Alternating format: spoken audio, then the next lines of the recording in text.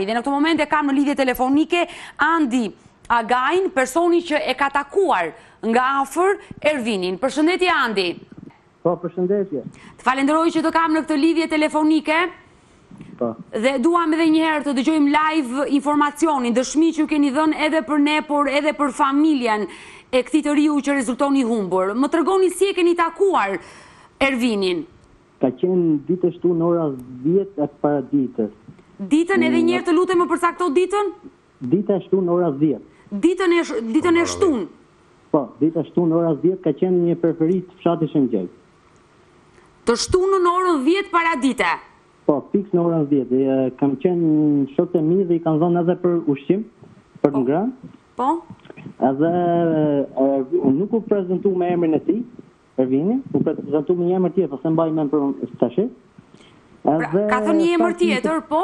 Po, po, po, unë nuk e dije se, nuk e kisha, nuk e dije që është kry një person i humbur, po më thënë shokët që e, e kishin pa emisionet tuaj dhe ishte vete e, e, njof, e kishin njohë shumë mirë. Dhe tha që kishte tre ditë që kishte ardhur këtu, ashtu tha ai. E kuptoj, por nuk nuk më dukej se ishte në gjendje mirë psikologjike. me thënë të drejtën. Dhe po. tha që duhet të ikte për Tiranë, ose ndoshta të rrinte edhe 2-3 ditë këtu, në periferi këtu është një, gjësh, jo mrena në fshat, që një po është në periferi. është një pyllë ku, jam, ku shkojnë këto bakti që i çojnë këto njerëzit. E qartë.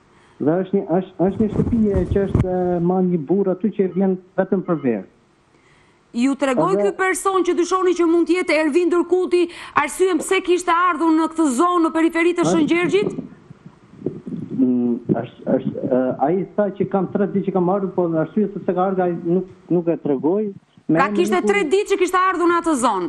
Ashtu bazuar te fjala e tij, ashtu tha ai. E qartë, e kuptoj, po. Se nuk e di mirë dhe tha ndoshta rri tre ditë, se ndoshta thotë do rri tre ditë këtu, ose pastaj kërkoi makinë që të ikte për Tiranë. Kërkoi një makinë se do do shkonte drejt Tiranës, ju tregoi se çfarë po. pune bënte në Tiranë? Po po, tha që punoj në gardë, po. edhe pyetëm ne ku e ke armën, armën tha e kemi lënë në shtëpi. E kishte lënë në shtëpi, kështu u përgjigj. U përgjigj ai. Po, i dhamë ushqim, në rregull, po me emrin nuk nuk nuk e tha ai tamam, po ishte 100% Ervini. Në atë takim që në atë takim që ju patët për pak minuta me këtë person që dyshohet që është Ervin Dërguti, ju arritët të kuptoni që kishte probleme me shëndetin mendor. Mm, po, kishte probleme se edhe kur shikonte shikonte nuk shikonte shikonte si keq. E kuptoj. Nuk është sa është, është rrëmbyer apo diçka kështu, është ka ik vetë me dëshirën e tij, nuk ka kështu për është është vetë personi që ka dashur me ik, nuk është se është ndonjë rrëmbim kështu. Ju kujtohet çfarë kishte veshur nëse i mbani mend këto detaje? Po, të, të, të njëjtat rrobe, rroba që është edhe në video. Të emocion, të emocionit. Njëjtat rrobe. Ndërkohë regjia le të na ndihmojë me atë video, video e fundit që ka arritur të të sigurojë familja nga kamrat e një biznesi privat ku duket qartë që Ervin Dërguti është duke ka dalë nga shtëpia mëngjesin e 27 prillit dhe është duke ikur në punë. Dhe ai ato janë dhe gjurmët e fundit për familjarët që disponojnë për Ervin Dërgutin. Jemi duke e parë në këto momente këtë video. Duket qartë të dashur miq se si Ervin Dërguti Është duke përshkruar rrugën e tij të përditshme për të vajtur në punë, por mëngjesin e njëzet e shtatë prillit ai nuk mbërriti kurrë në punën e tij dhe që prej atij momenti rezulton edhe i humbur, por informacionet po vijnë për zonën e Shën Gjergjit dhe kam dëshmitarin në këto momente në lidhje telefonike.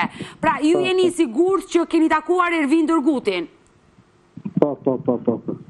Në momentin që u ndatë nga Ervini, e patë se çfarë drejtimi mori, Pasi ai ju kërkoi një makinë që ju nuk ja gjetët dot.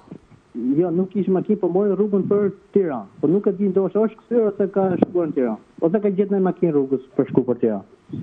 Drejtim për Tiranë. E qartë. Po, nuk e di nëse keni ndonjë pyetje. Ndoshta do të më keni ndihmë. Marrja e pagës këtë që thotë zotëria. Që mori rrugën për Tiranë e vërteton se të nesërmen ka është paraqitur në Tiranë. Ndërkohë i lutem stafit tim ta marrë zonjën Gjyle për të na dhënë orën e saktë se kur janë tërhequr paratë këtu në Tiranë që të bëjmë një llogaritje.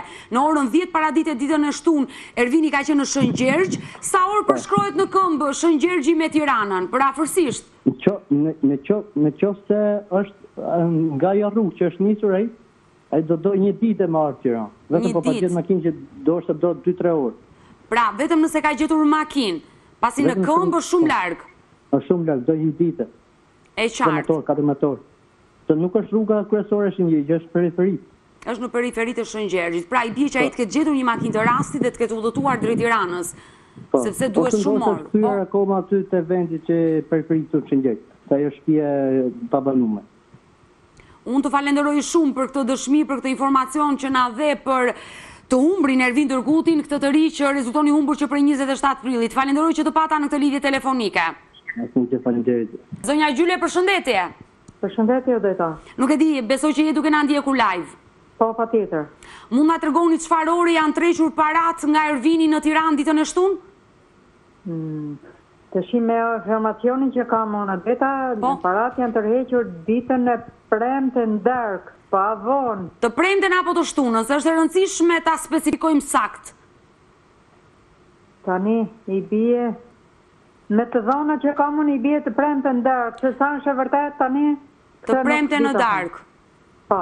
Gjithsesi neve mund ta saktësojmë nesër të, të lidhemi me ekonomistin për të mësuar saktë edhe orarin kur i ka tërhequr paratë, por nëse i ka po. tërhequr të premte në darkë paratë, a i bie të ketë udhëtuar gjithë natën për në Shëngjergj? Jo, i bie të ketë udhëtuar me makinë. Se në këmbë është e pamundur. E pamundur. Ai ai tha, ai zotëria tha që duhet një një një kohë e gjatë për të për të arritur në Tiranë me me këmbë. Kurse me makinë është 3 orë, tha. 3 orë. 3 orë. Që i bie të premte në darkë, ka tërhequr paratë dhe ka gjetur një makinë dhe është nisur në Shëngjergj. Sepse me, me, po të kishte udhëtuar me këmbë, i, do, i, do, i, i duhej një, një ditë e tërë atij për të, për të bërë, për të përshkuar gjithë atë rrugë. Ka qëndruar mbrëmjen e së premtes po, në po, Shëngjergj dhe po. të shtunën, po paradite ai është nisur sërish drejt Tiranës, sipas dëshmitarit, se ka kërkuar një makinë zonja Gjyle, të shtunën paradite djali juaj, për të udhëtuar drejt Tiranës. Po.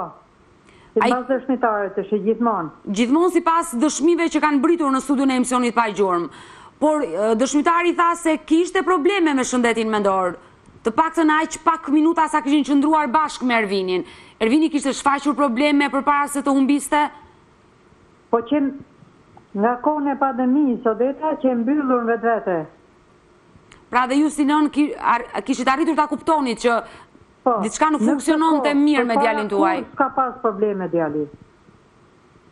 Në këtë Po, ju dëgjoj zonja Gjyle. Përpara nuk ka pas probleme djali Odeta. Tani në këtë kohë të izolimit djali u mbyll në vete dhe unë nuk kaq kam kuptuar me një fjalë. Nuk di ç'të them tjetër më tepër. E qartë. Ne do bëjmë të pamundurën, ne çdo ditë do ta nxjerrim pasaportën e tij, të gjitha informacionet zonja Gjyle do t'i verifikojmë deri në fund, jemi lidhur edhe me policinë për t'i verifikuar në kohë reale, ne urojmë që ai të jetë në zonën e Tiranës, të ketë ardhur, të jetë këtu, besoj që njerëzit janë në shtëpi dhe po na ndjekin dhe unë kam besim te publiku na ndihmon, asnjëherë ata nuk hezitojnë kur kanë informacion, kështu që do të jemi bashkë në kontakt zonja Gjyle për gjithçka. Mirë, Odeta, faleminde.